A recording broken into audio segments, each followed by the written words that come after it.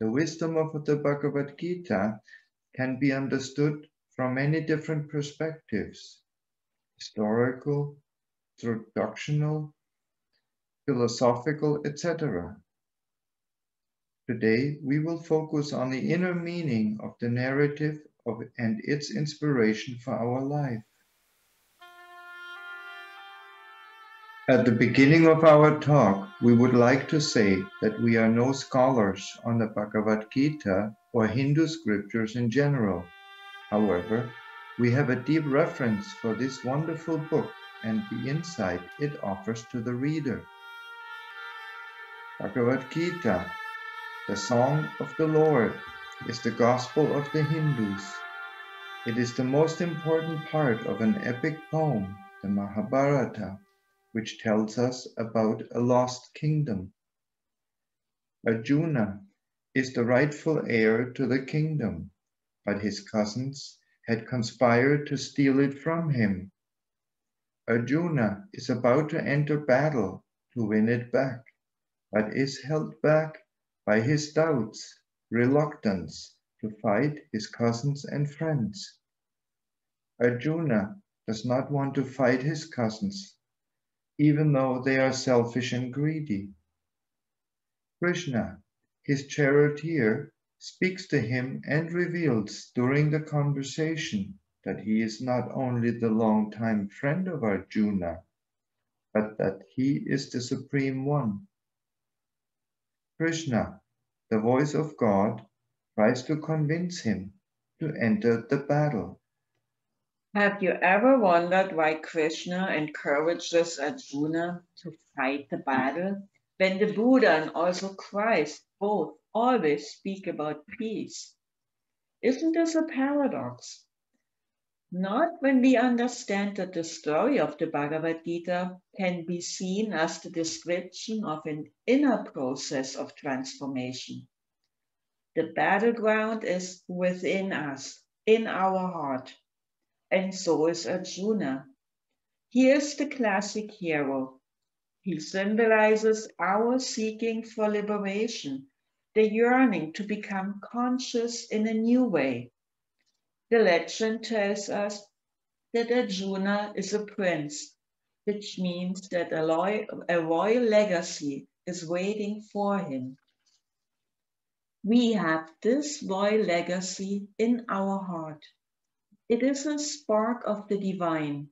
It is also called the lotus or rose of the heart or Atman. Within Arjuna, the seeker, this royal principle, Atman, is radiating. It is the voice of Krishna. Don't we all feel an inner yearning for something we do not understand and cannot name?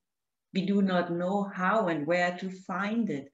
And still, there is a deep certainty that nothing is greater than this.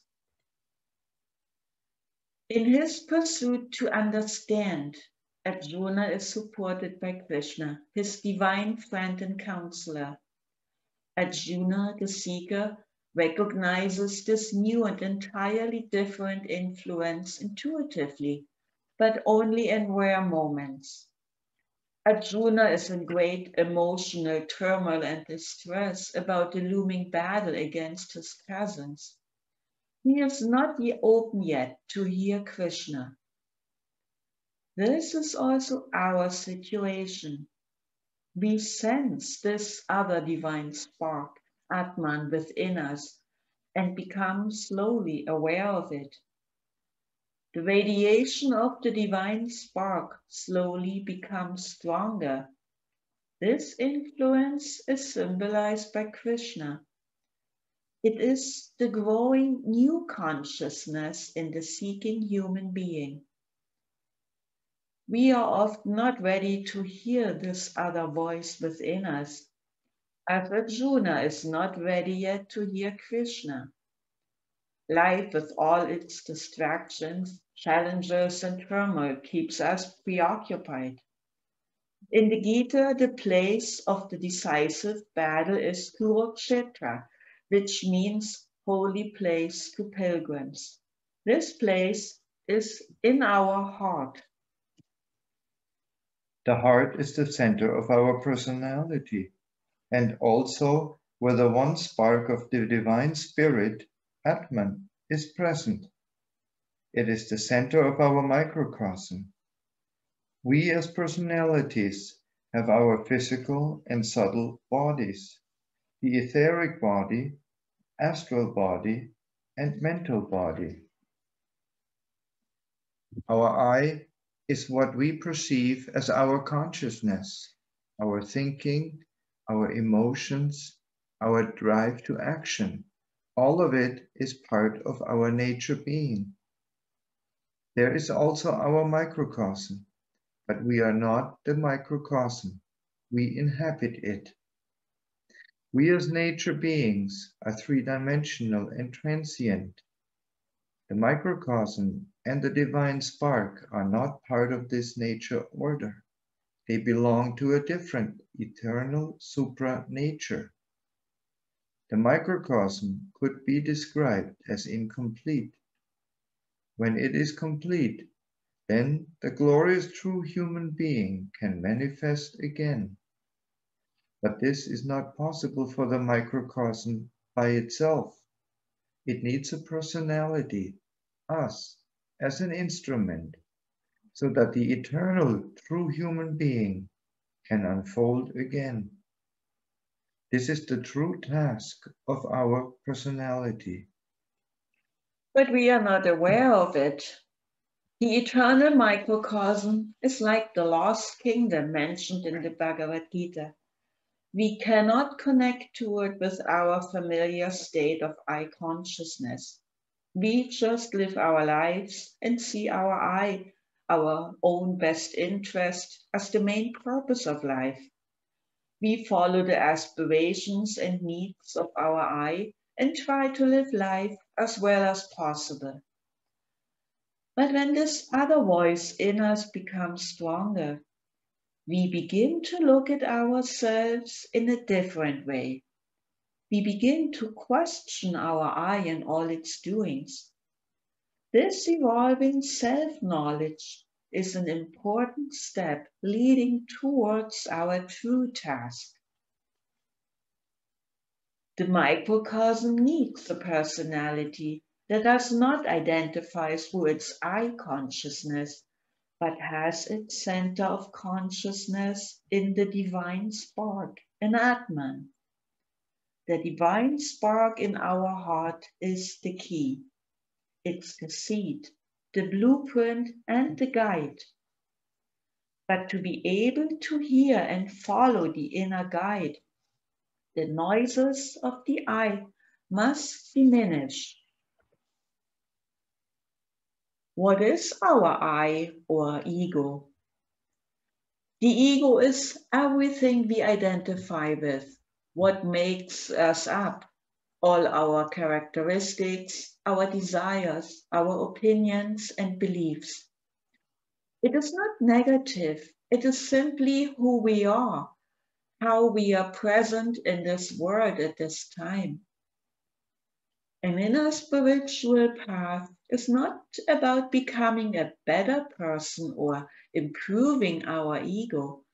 No, the ego or I has to become less. It has to allow the divine principle in us to unfold. It is about a fundamental self revolution. The Gita is a description of this inner battle, the self revolution that needs to take place in the heart of the candidate. Who are the enemies we have to fight? They are all the different facets of our ego, our self-maintenance, our cherished values, our inclinations and beliefs.